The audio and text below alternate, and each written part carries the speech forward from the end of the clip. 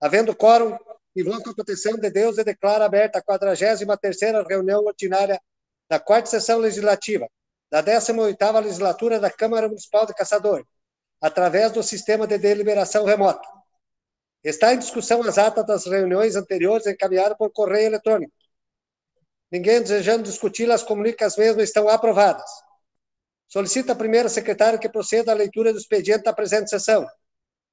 Senhor presidente, senhores vereadores, vereadora Cirlei, senhoras e senhores que prestigiam essa sessão.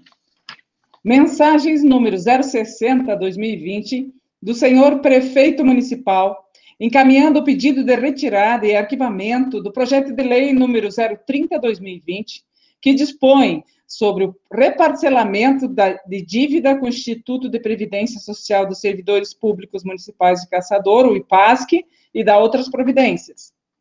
E-mail do deputado João Amin, encaminhando cópia da indicação número 1673.5-2020, de sua autoria, solicitando a restauração da rodovia SC 350, Caçador Lebon Regis, Lebon Regis Santa Cecília, até a BR 116, Santa Catarina. Ofícios do Poder Legislativo, CMC, número 220, 221, 223, 2020, encaminhando respectivamente a projeto de decreto legislativo número 09/2020, que estabelece medidas de caráter temporário para mitigação de riscos decorrentes da doença causada pelo novo coronavírus, o COVID-19, no âmbito do Poder Legislativo de Caçador, Santa Catarina. Letra B. Projeto de Lei Complementar CMC número 02/2020, que altera a redação do parágrafo, parágrafo 6 do artigo 28 da Lei Complementar número 113, de 13 de agosto de 2007, que dispõe sobre o novo plano de carreira de cargos e vencimentos dos servidores da Câmara Municipal de Caçador e da outras providências, de autoria dos membros da mesa diretora. E C, projeto de lei CMC, número 12, 2020, que denomina salas da Casa Mortuária do Cemitério Municipal, de autoria do vereador Paulo César Jarcio, PSDB e proposições dos senhores vereadores.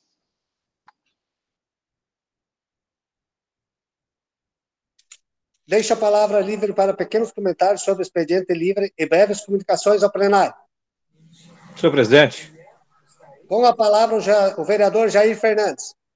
Senhor presidente, vereadores, vereadoras e demais pessoas que nos acompanham, só queria fazer um comentário a respeito da falta de respeito do, dos bancos, principalmente o Banco do Brasil, uh, com, com o cliente, né? A falta de respeito, porque sábado, domingo e segunda, sem um centavo nos caixas eletrônicos, né? Então, a falta de respeito muito grande, porque as pessoas vão lá, têm os seus compromissos, aí muitos aí ficaram no final de semana, feriado, todos sem dinheiro, né? Eu acho que eles poderiam muito bem, uh, mesmo no sábado, no domingo ali, reabastecer as caixas, né?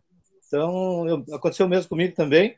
Né? A gente tem compromisso aí para acertar e a gente vai lá sacar que nada, né? Então, vamos tentar hoje de noite. Espero que o pessoal não, não tenha sacado todo o dinheiro, né? Uh, até porque aglomeração, né? Acredito que hoje também estava lotadíssimo devido ao pessoal não conseguir sacar sábado, domingo e segunda-feira. Né? Então, é uma falta de respeito muito grande. Eu acho muito bom eles rever essa questão aí. Seria isso. Muito obrigado. Senhor presidente.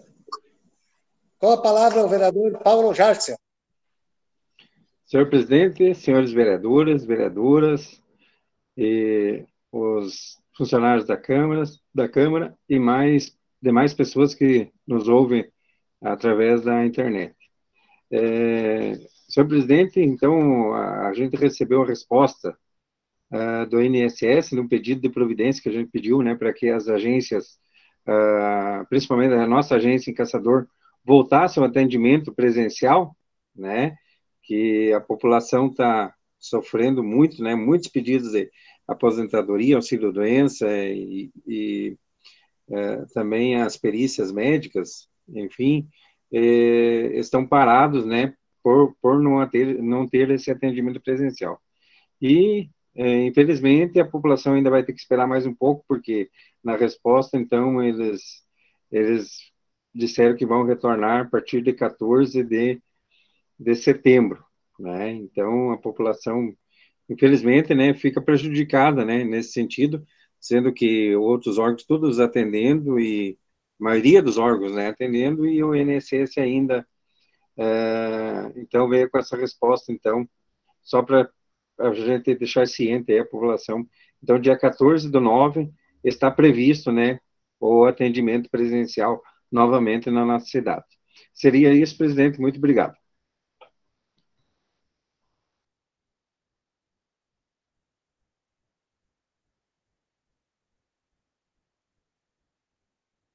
Também gostaria de fazer alguns comentários sobre os bancos. Não é só o Banco do Brasil. O Bradesco e a Caixa Econômica também. Esse tempo já fiz um, uma denúncia no, no PROCON. Qual foi a resposta deles? Todo fim de semana, quando caísse o cinco dia útil, eles sempre têm uma quantia de dinheiro para abastecer os caixas e eles não podem abastecer até não, não chegar no próximo dia útil. Então foi sábado de tarde sem dinheiro, domingo segunda, que foi feriado, e hoje pela manhã, só quando abriu os bancos. Então, eu fui sete horas da manhã no banco, também não tinha. Então, você veja que é descaso. E não adianta ir lá no PROCON ficar reclamando, eles não resolvem nada. A única coisa que o banco sabe é cobrar juro e taxa, e a população tem que se virar com tudo. Então, acho que é um descaso mesmo, que o gente estava falando, isso é uma falta de consideração com os caçadorenses. Então, acho que temos que tomar novas providências, porque isso aí não pode acontecer. Então, cai um dia útil no final de semana, depois, dois, três dias, não tem dinheiro. E o cara que precisa para viajar só no cartão, que muitas vezes não tem máquina para passar o cartão. Então, isso é um descaso mesmo com a nossa população. É uma vergonha para esses bancos, só sabem cobrar taxa. É isso aí, muito obrigado. Solicita a secretária que nos informe a matéria do a ordem do dia da presente sessão. Temos para a primeira votação projeto de lei número 039/2020, que autoriza a doação de bem imóvel ao Fundo de Melhoria da Polícia Civil, o FUMPC, para uso da décima Delegacia Regional de Caçador. Então, segundo a mensagem que instrui o presente projeto de lei, hein, diz que é, a proposta normativa visa garantir o cumprimento das obrigações assumidas pelo município no convênio de trânsito de número 2016 TN 001773, celebrado com a Secretaria de Estado de Segurança Pública, o Departamento Estadual de Trânsito, Detran SC, e a, a Polícia Militar e a Polícia Civil de Santa Catarina, para o desenvolvimento de ações conjuntas em engenharia de tráfego e de campo, sinalização e fiscalização do trânsito, em conformidade com a Lei 9.503, de 23 de setembro de 1977, o Código de Trânsito Brasileiro.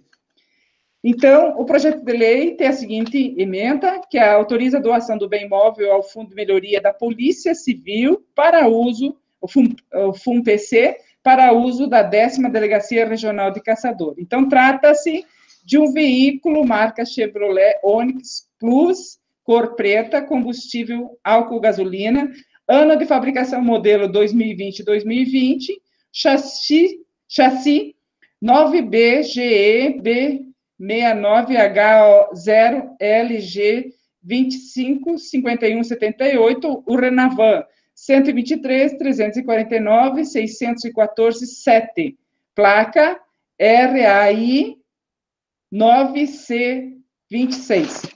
A presente propositura, ela foi analisada né, pelos membros da Comissão de Legislação e Justiça, que, na sua totalidade, opinam pela sua aprovação, também objeto de trabalho pelos membros da Comissão de Finanças, Orçamento e Contas do município, que também, na totalidade dos seus membros, opinam pela aprovação. Também instruir a presente propositura, projeto de lei, uh, do projeto de lei, o parecer jurídico da advogada desta casa, que conclui que, segundo a exposição de motivos, a utilização do bem a ser dado será exclusiva nas ações da Polícia Civil de Santa Catarina e ficará sob responsabilidade da décima Delegacia Regional de Polícia Civil de Caçador. Diante do exposto, opinamos pela legalidade do projeto de lei número 039-2020. São esses os documentos que instruem a presente propositura, senhor presidente. Está em discussão o projeto de lei número 039, 2020.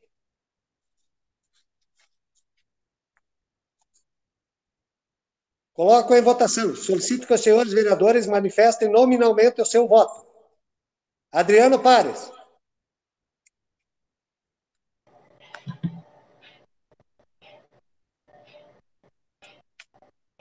Adriano Pares. Perdão, presidente, caiu a ligação aqui. Favorável. Alcedir Fermin. Favorável. Amarildo Tessaro. Favorável. Antônio Rubiano Schmitz. Favorável. Cleoni Figur. De acordo, presidente. Jair Fernandes. De acordo, presidente. Márcio Farrapo. De acordo, senhor presidente. Marcos Criminácio. Favorável, presidente. Moacir de Agostini.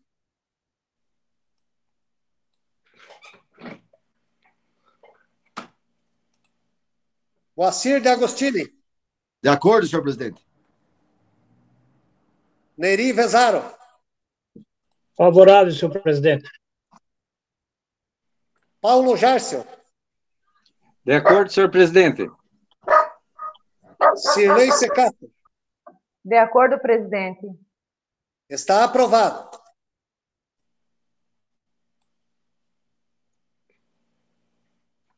Temos para a primeira votação projeto de lei número 040/2020, que autoriza a cessão de uso de bem imóvel à Polícia Militar de Santa Catarina para uso do 15º Batalhão de Polícia Militar. A presente propositura, ela é muito semelhante ao projeto anterior, porém, trata-se de, da cessão de uso de bem imóvel à Polícia Militar, né, para uso do, do 15º Batalhão de Polícia Militar. Então, o veículo é um veículo marca Chevrolet Onix Plus, cor preta, combustível álcool gasolina, ano de fabricação modelo 2020-2020, chassi 9BGE B69H0 LG 237077, Renavan 123 349 5272, placa RAI 9B56. Então, da mesma forma, trabalharam sobre esse projeto os membros da Comissão de Legislação e Justiça,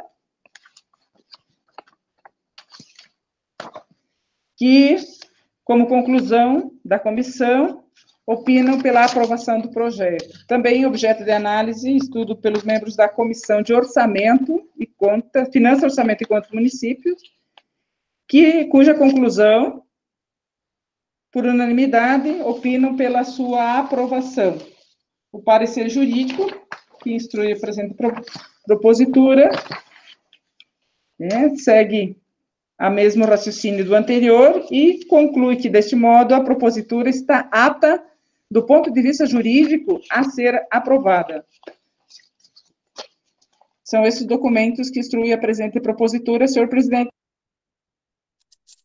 Está em discussão o projeto de lei 040-2020.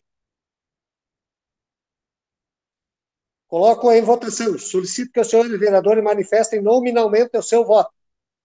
Adriano Pares. Favorável, senhor presidente. Alcedir Ferlim. Favorável. Amarildo Tessaro.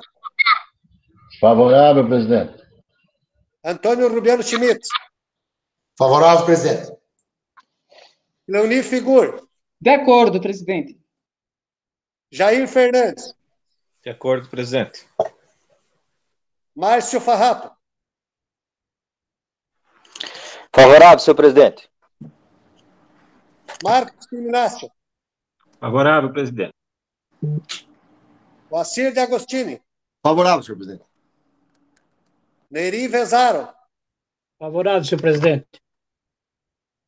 Paulo Jarcia. De acordo, senhor presidente. Cirlei Secato. De acordo, presidente. Está aprovado.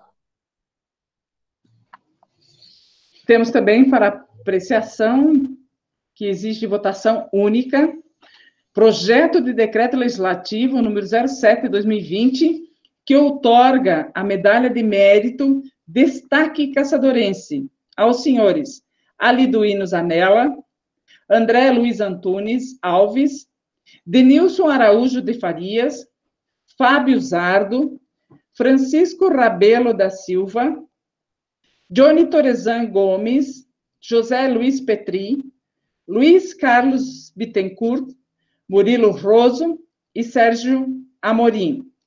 Às senhoras Carmen Lúcia Tomé Fabiani, Daniela Paz, Paz Loureiro Tombini, Maria Vanilde de Castro, Marina Tives Cruz, Nádia Aparecida Argenta Bortoli e Patrícia Corso Trevisol. E ao Clube de Desbravadores Alfa, Escola de Educação Básica Dom Orlando Dotti, Escola Especial Apolônia Capitolina Miles, a APAI, GGNet Telecom, Marista Escola Social, Unidade de Caçador, Móveis Ficali, Nova Sul Distribuidora de Alimentos, Supermercado Supermercado Nórdio e Transpower Transporte Rodoviário Limitada. Então, conforme exigência de apreciação, esse projeto de decreto legislativo foi submetido aos membros da Comissão de Legislação e Justiça, que, como conclusão da comissão, pela totalidade dos seus membros, opinam pela aprovação do presente decreto legislativo.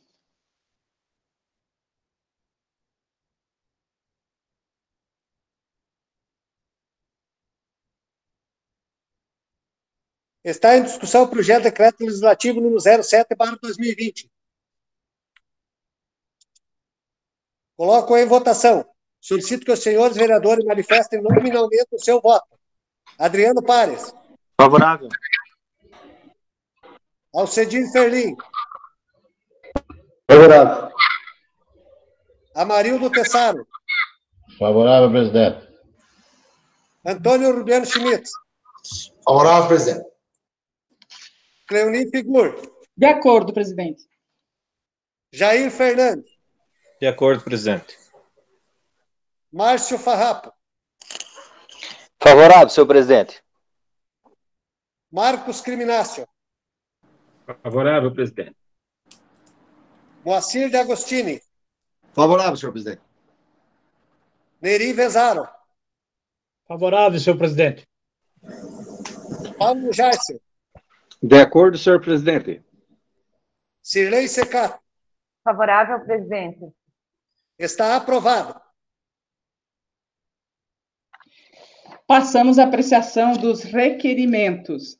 Requerimento número 071-2020, patrocinado pelo vereador Itacir João Fiorese, requerendo que se oficie à família de Amâncio Fonseca, apresentando condolências pelo seu falecimento, ocorrido no dia 02 de setembro de 2020.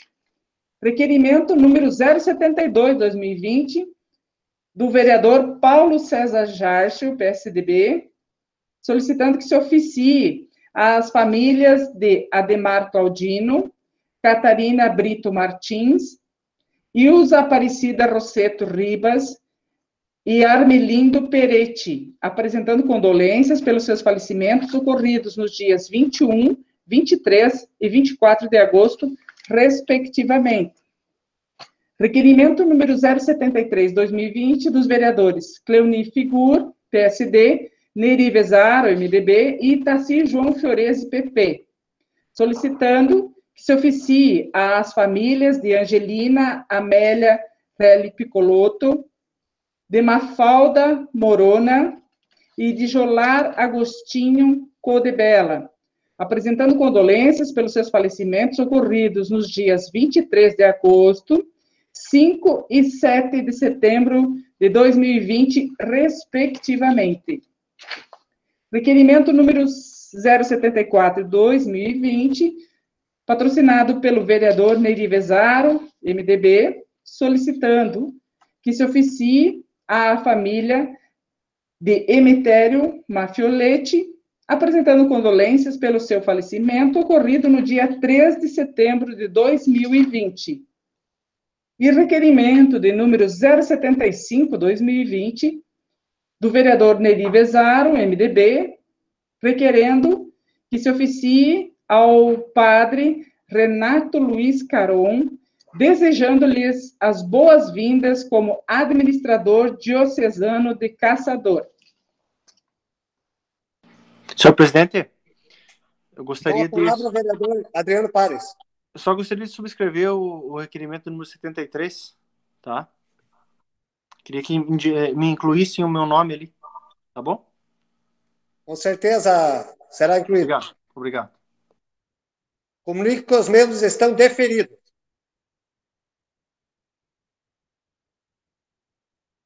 Pode.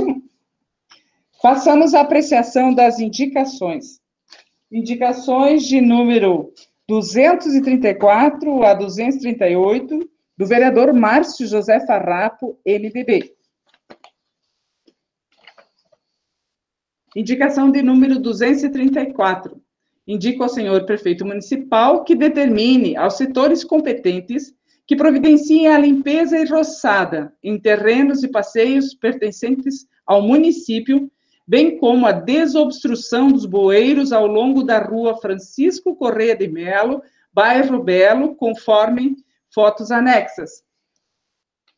Indicação de número 235. Indica o senhor prefeito municipal que determine à Secretaria Municipal de Infraestrutura que efetue o conserto da pavimentação asfáltica na rua Goiás, mais precisamente nas proximidades da panificadora e confeitaria Santelmo, bairro DR, conforme foto anexa. Indicação de número 237. Indico ao senhor prefeito municipal que determine ao IPUC que faça estudo de viabilidade para instalação de um redutor de velocidade ou faixa elevada de pedestres na rua Venezuela, mais especificamente nas proximidades do Mercado Martinez, bairro Reunidas. Indicação de número 238-2020, indica ao senhor prefeito municipal que determine ao setor competente que providencie a limpeza, desobstrução e reposição da grade dos bueiros ao longo da rua José Gumercindo Colasso, distrito Taquara Verde, conforme foto anexa. Informo, senhor presidente, que a indicação de número 236 foi retirada pelo seu autor.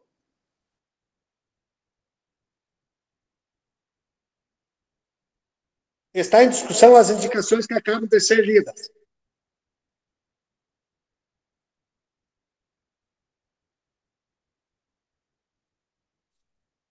Coloco em votação. Solicito que os senhores vereadores manifestem nominalmente o seu voto. Adriano Pares. Favorável. Alcedir Felim. Favorável. Amarildo Tessaro. Favorável, presidente. Antônio Rubiano Schmidt. Favorável, presidente. Cleoni Figur. Favorável, presidente. Jair Fernandes. De acordo, presidente. Márcio Farrapo. Favorável, senhor presidente. Marcos Criminácio. Favorável, presidente. Moacir de Agostini. Favorável, senhor presidente. Neiri Vezaro. Favorável, senhor. Paulo Jarcel. De acordo, senhor presidente. Cirlei Secata. Favorável, presidente. Estão aprovadas. Senhor presidente, eu faço a leitura da indicação de número 239, também patrocinada pelo vereador Márcio José Farrapo, do MDB. Indico ao senhor prefeito municipal que determine à Secretaria Municipal de Infraestrutura que providencie limpeza, desobstrução e reposição da grade de Boca de Lobo, na rua José Ios Júnior, bairro Martelo, mais precisamente em frente ao número 990, conforme foto anexa.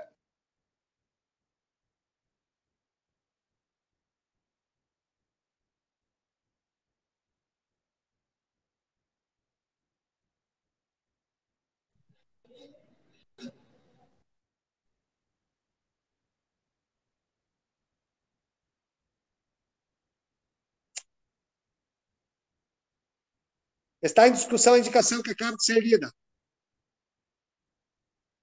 Coloco em votação. Solicito que os senhores vereadores manifestem nominalmente o seu voto.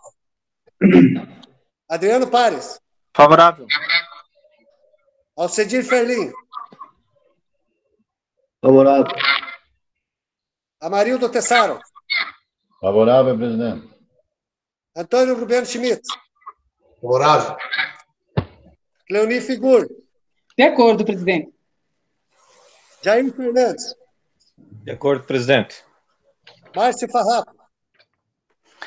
Favorável, senhor presidente. Marcos Criminácio. Favorável, presidente. Moacir de Agostini. Favorável, presidente. Neri Vezaro. Favorável. Paulo Jarcio. De acordo, senhor presidente. Cirlei Secata. Favorável, presidente. Está aprovada. Passo à leitura da indicação de número 240, 2020, patrocinada pelo vereador Jair Fernandes, do PSDB. Indico ao senhor prefeito municipal que estude, junto à Secretaria Municipal de Infraestrutura, sobre a possibilidade de retomar com as obras, retornar, perdão, com as obras de confecção de pintura de sinalização de trânsito no período noturno.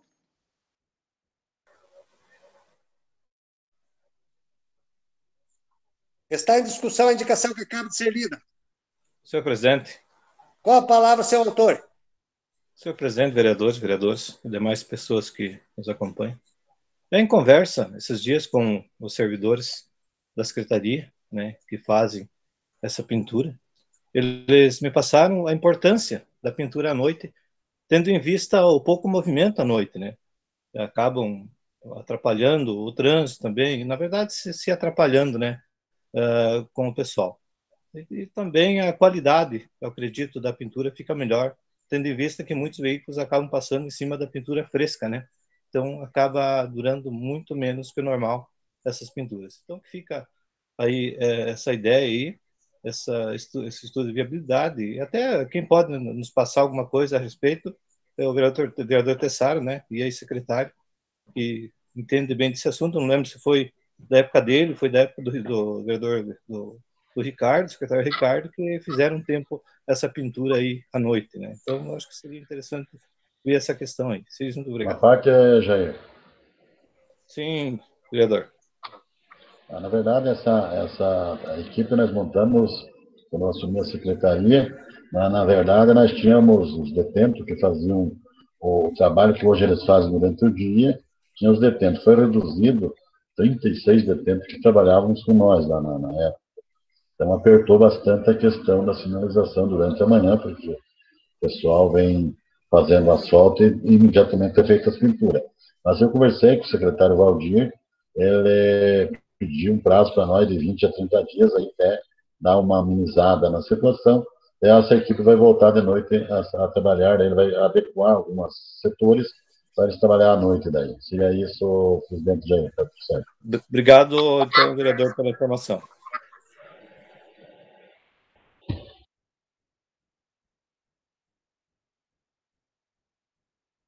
Coloco em votação. Solicito que os senhores vereadores manifestem nominalmente o seu voto.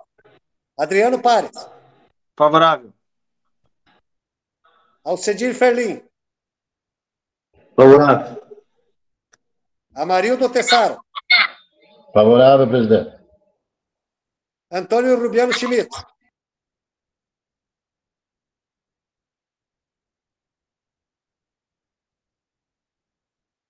Antônio Rubiano Schmidt.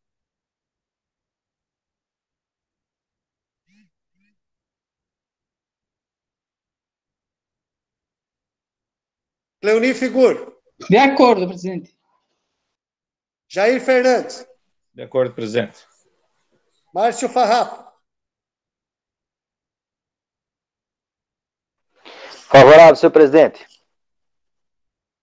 Marcos Criminácio. Favorável. Moacir de Agostini. De acordo, senhor presidente. Neri Vezaro. Favorável. Paulo Járcia. De acordo, senhor presidente. Cirlei Secato.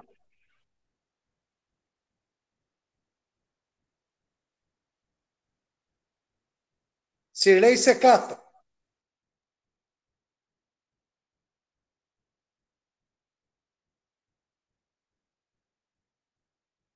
Está aprovada. Passamos à apreciação da indicação de número 241-2020, patrocinada pelo vereador Adriano Pares, PSDB. Indico ao senhor prefeito municipal que determine ao IPUC que realize estudo de viabilidade para edificação de uma lombada na rua Macieira, bairro Bom Jesus,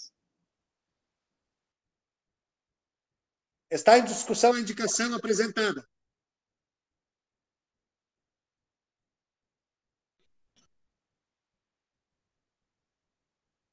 Coloco em votação. Solicito que os senhores vereadores manifestem nominalmente o seu voto. Adriano Pares. Favorável. Amarildo Tessaro. Favorável. Alcedir Ferlim. Favorável. Antônio Rubiano Schmidt.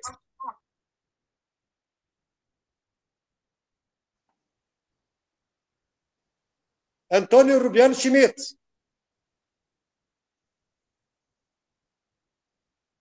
Cleoni Figur. De acordo. Jair Fernandes. De acordo, presidente. Márcio Farrapo. Favorável, senhor presidente. Marcos Criminácio. Favorável, presidente. Moacir de Agostini. De acordo, presidente. Neri Vezaro. Favorável, presidente. Paulo Járcia. De acordo, senhor presidente. Cirlei Secato. Favorável, presidente. Está aprovada. Senhor presidente, era essa a matéria da ordem do dia da presente sessão. Senhor presidente. Com a palavra o vereador Paulo Járcio. Senhor presidente, senhores vereadores, uh, demais presentes, havendo tempo ainda, gostaria só de fazer um comentário, senhor presidente, é, com relação ao decreto 8.898, de 28 de agosto agora de 2020, né, é, do, da FECAM, né, da, então, eles, no seu artigo primeiro, né, é, eles colocam o seguinte, fica autorizado o funcionamento de atividades abaixo descritas nos seguintes termos. É, inciso 1, o comércio em geral de segunda a sexta-feira até às 19 horas aos sábados poderá ser aberto até às 19 horas, ficando aos domingos e feriados uh, fechados, né? Então, alguns comerciantes nos procuraram e a gente também, uh, analisando, achou justa a solicitação deles. É, alguns comerciantes que sempre abriam, abriam no domingo, né? Que são famílias, que têm um pequeno comércio, é, às vezes, tem, e também algum, algumas religiões que não abrem no sábado, né? E abririam no domingo. Então, a gente pede para o prefeito para analisar, ele não está no momento em Caçador, mas a gente vai tentar conversar com, com Alencar, para de repente analisar esse decreto, né, e ver se consegue deixar uh, nos domingos aberto. Uh, no meu entender, até melhor, porque tendo algumas lojas abertas no domingo, né, uh, algumas pessoas gostam de ir no sábado, né, e, e, e, Pois não? Ah, Paulo, na verdade, quinta-feira o prefeito, eles liberaram os comércios agora. Eles vão trabalhar sábado até as duas, domingo até as duas, e, e até as 8 horas da noite durante a semana. Os mercados, horário normal, até as 10 horas, que eles abrem, né? Então, o decreto de quinta-feira já está funcionando. Foi aberto o parque também, ah, para funcionar até as 8 da noite os bairros, comércio de sábado e domingo, que era até meio-dia, domingo não funcionava. Hoje até as duas do domingo e no sábado também até as duas. Seria isso, Paulo. É, talvez não, não, não li direito, uh, vereador Amarildo. Na verdade, eu acho que o comércio, tipo lojas, né, confecções e outras, outras lojas, acho que não está permitido. E geralmente eles abrem de tarde no domingo, né? Então, talvez era só os mercados que tá, tá liberado nesse horário. Mas, mas eu agradeço o comentário, vou verificar bem certinho, então, né? E, e, e conversar com o pessoal. E se tiver já liberado, então já fico aqui e agradeço, né? É, mas seria isso só minha indagação, meu, meu comentário. E amanhã a gente verifica bem certinho. Eu fico agradecido pela palavra.